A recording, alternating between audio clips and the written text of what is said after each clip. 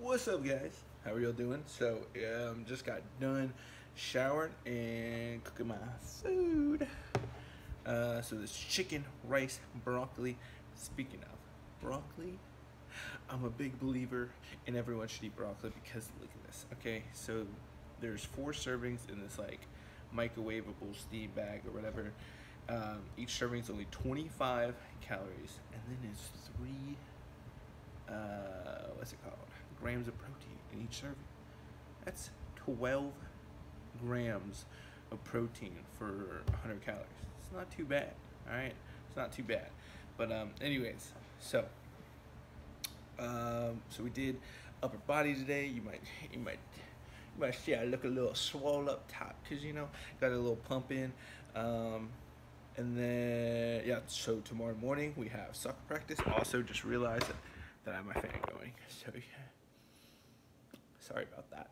But uh, anyways, um, so I'm gonna eat, get some water in me, refuel, and then be right back at it again tomorrow morning. So, um, but anyways, thank you guys for watching. I'll see you tomorrow morning at soccer practice.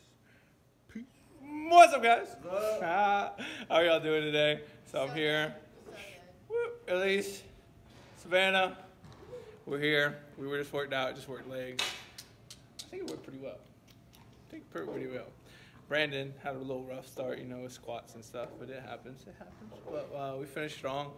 Um, yeah, I got out. I got up to 405 when doing paw or what bench squats. Four sets of three. So He did really came out of good. nowhere. Oh my gosh. And y'all stretch. But uh, yeah, and Elise made a stretch. So always stretch because we'll feel better tomorrow. We feel terrible now, but you know we'll feel better tomorrow.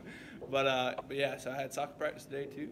That was fun. It was nice. and then tomorrow's our rest day, so that should be awesome because you know rest is key. But anyways, thank you guys for watching. Peace out. Peace, peace, peace. Hey, peace.